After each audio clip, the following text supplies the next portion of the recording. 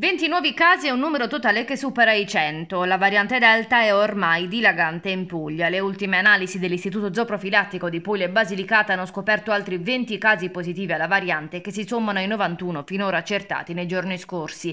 A questi andrebbero aggiunti i campionamenti degli ultimi giorni, specie quelli derivanti da un focolaio scoppiato in un campeggio estivo a Manfredonia che ha colpito 34 ragazzi, gran parte dei quali provenienti da altre regioni. Ma a preoccupare maggiormente gli esperti è la percentuale percentuale di tamponi positivi alla variante indiana. I tamponi infatti ormai si dividono a metà, una parte sono positive alla variante inglese, cioè l'alfa, l'altra parte alla delta. Se la percentuale del 50% fosse confermata anche dalle successive analisi che avverranno questo fine settimana, significherebbe che la delta corre davvero. Gli esperti si augurano che la vaccinazione e la bella stagione riescano a contenerla, anche se le notizie che arrivano da altri paesi non sono confortanti. Rispetto alla scorsa estate, in Puglia, quando i contagi erano tra 0 e 10 al giorno, quest'anno siamo oltre i 30-40 al giorno. Non confortano nemmeno gli assembramenti che si sono creati nelle varie piazze per festeggiare gli europei di calcio. L'assessore alla sanità regionale Pierluigi Lopalco resta però ottimista.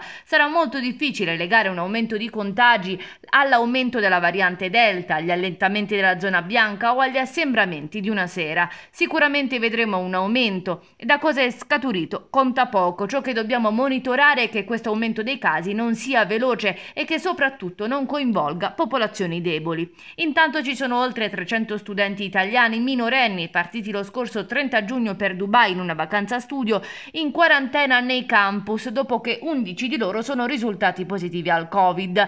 Fra loro ci sono molti salentini. Gli studenti riferiscono che sarebbero dovuti rientrare mercoledì ma che per loro è stato attivato il protocollo di sicurezza che comporta tampone molecolare molecolare e isolamento immediato e il contagio sarebbe avvenuto durante la visita a un mercato.